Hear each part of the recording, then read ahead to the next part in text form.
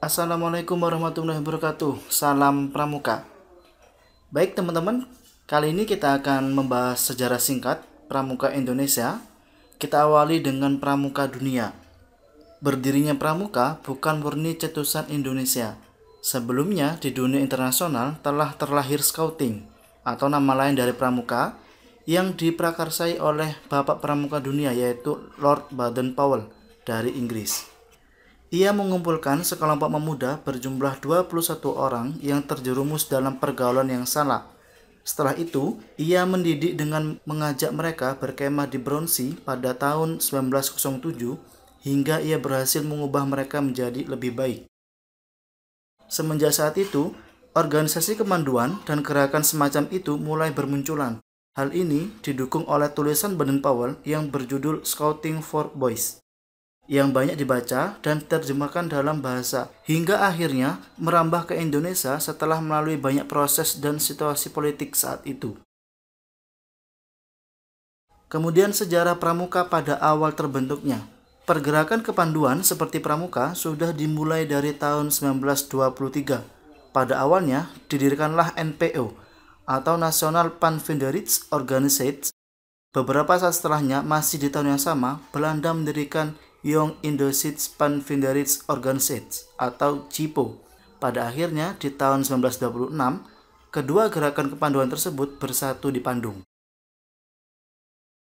Untuk organisasi sejenis yang didirikan asli oleh warga Indonesia pada masa itu adalah Javens Pathfinders Organisatie yang diprakarsai oleh Mangkunegara yang ketujuh pada tahun 1916. Namanya berganti-ganti karena terendus sebagai pergerakan nasional yang bisa membahayakan kedudukan Belanda. Setelah mengalami berbagai macam situasi politik, organisasi kepanduan sejenis lahir seperti POP, PK, KRI, dan lain-lain. Masa kemerdekaan setelah kemerdekaan Indonesia diproklamirkan, maka banyak tokoh dari gerakan kepanduan dari zaman penjajahan dikumpulkan dan membuat panitia Kesatuan Kepanduan Indonesia untuk selanjutnya ditunjuk untuk mengadakan Kongres Kepanduan. Pada tanggal 27 sampai 29 Desember 1945, diadakanlah kongres di Surakarta dan menghasilkan terbentuknya Pandu Rakyat Indonesia.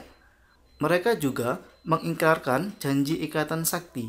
Setelah itu keluar keputusan Menteri nomor 93A tanggal 1 Februari 1947 yang berisikan pengakuan atas keberadaan organisasi kepanduan yang ditetapkan oleh Menteri Pendidikan.